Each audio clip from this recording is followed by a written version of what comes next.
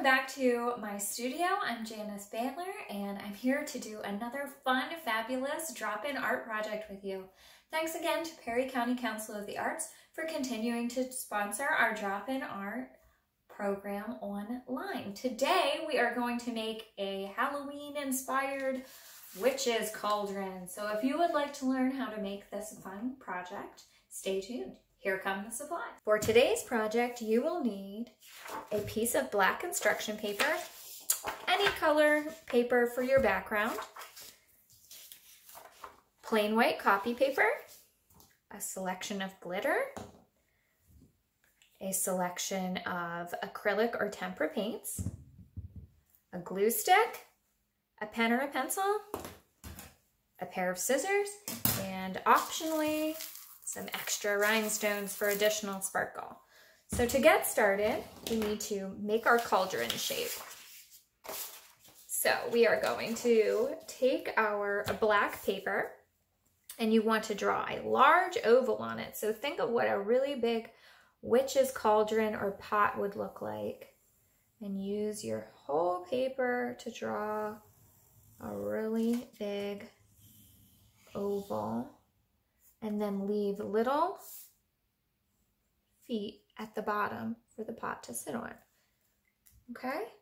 And then also you could draw one side that's your favorite and fold your paper in half and then it will come out as two halves, just like when you do like a Valentine heart. So you kind of want your oval to be flat at the bottom because the pot would be flat at the bottom. Cut out your little pot feet. And then go ahead and cut out your oval. And then I'm going to make a little rim at the top of my oval that would look like the rim on a pot.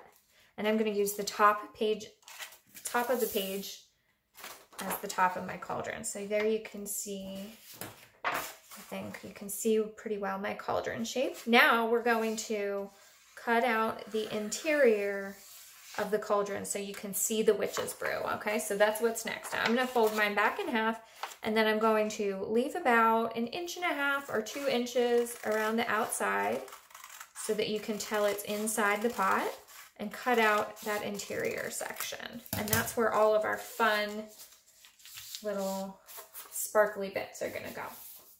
So now we need to make our interior of our cauldron. So we are going to use our white paper and do a few splats of paint and then layer it up with glitter. So let's get started on that. And you don't need any special technique to do this, okay? So we're just gonna have a lot of fun. Make sure that you put down newspaper if you're wanting to get really messy. I'm just gonna put a couple of dots of, I had a gray, I have an aqua, and I have a purple, but you can choose whatever colors are your favorite or maybe go with your Halloween decorations if you and your family are big into decorating for Halloween. Oh, it's totally up to you. Just put a few drops down and then what smears it all together is by folding our page in half and then kind of rubbing around on it and working your page back and forth. Not too much. We don't want to overwork it. We don't want to just blend all the paint together but we are trying to make a fun witch's brew, a bubbling brew. And I'm gonna fold up this way a little bit too. And then what really adds all of the, I'm gonna check. Oh, I need to go a little bit further to the edge. I'm just gonna fold over and make sure that I get paint that will cover all of the interior. Uh-oh, now I'm starting to get messy. My goodness. Okay, now I've got it all covered in there. Smear that off. And what makes it really fun is to sprinkle a little bit of glitter on. Ooh, that's where the magic is. Okay, so go ahead and add your fun colors. I have, who knows what's in this special recipe, right? I have a blue glitter and a white glitter and a green. That's just what I had, but you can use whatever you have It doesn't have to be my colors. It could be your favorite colors or whatever you have access to. Okay, so there is our beautiful brew. And now what we need to do is stick our cauldron on top of it. You can see how it looks like a fun bubbly brew in there, right? Okay, so let's put a whole bunch of glue all around our cauldron shape to glue it down. This could be something really, really fun to add to your Halloween decorations. I'm wondering if you and your family like to decorate for the holidays because we're getting into all those fun decorating seasons. I know we're going to be spending a lot of time at home this year probably. And so we can make our spaces extra fun by adding lots of handmade decorations. So it's fun twice. It's fun making it and then it's fun using it to decorate. Okay, so now we're gonna place this on top of our smear and smooth it down. Be careful not to touch the inside. It's probably still wet. Okay, and then you can let it dry and cut away the white that's on the outside of the cauldron. But I'm kind of impatient, so I'm gonna go ahead and cut it right now. But you probably wanna let it dry so you don't smear all over yourself. So just cut that outside away. So we don't need that anymore. I'm just gonna go ahead and cut that off from behind.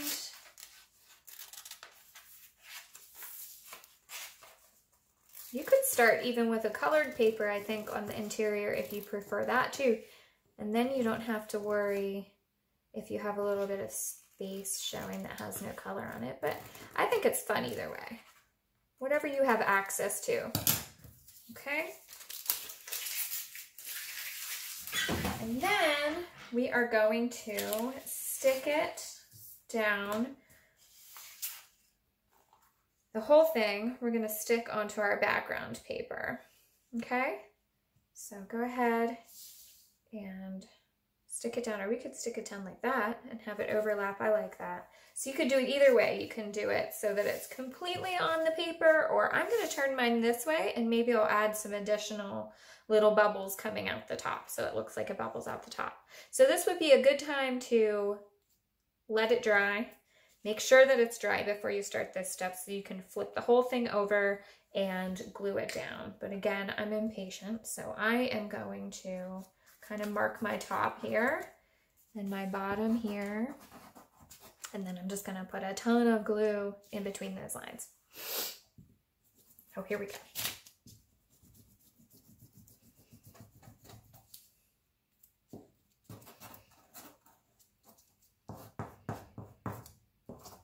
Okay, that ought to work for us. So put my cauldron back on my paper. Smooth it down. I won't be able to smooth through the inside since mine's still wet, but you would be able to smooth the whole thing down. Okay, and there we have it. And you can stop here, of course, or you can continue to do a little bit more. And since my fingers are already messy, I'm gonna go for it. So I'm gonna make a few little bits of my brew coming out the top of the pot. Oh no, it's really getting crazy now. Finger painting is really fun, so, you know, go for it. Just make sure you ask before you get too messy, okay? And have a rag or something standing by so you don't get painty prints all over your adult's house. They might not appreciate Oh my gosh, I got a lot that time. okay. So now once you have it all filled in there up at the top, too,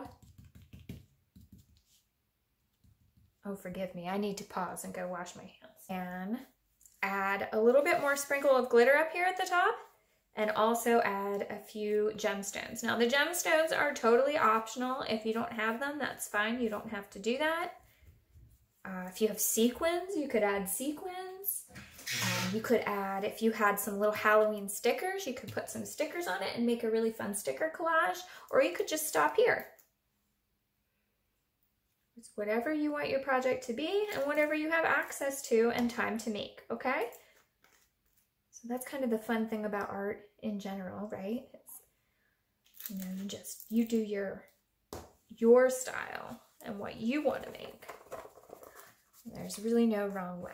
Okay, so now I'm going to get some school glue so that I can add some rhinestones. So I have a little bit of glue here, and I'm just going to pick a few that are in the same colors as the glitter that I used and add a few bigger bubbles to my brew. Maybe, if I can get the glue out.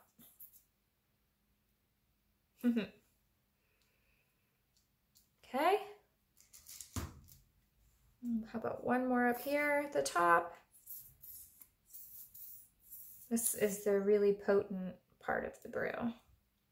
I don't know what my witch is making, but it looks like some serious stuff. A great spell, I guess. Maybe one more because I can't stop. I love the sparkles. There you go. And you could continue on if you want to, but I think I'm going to stop right here.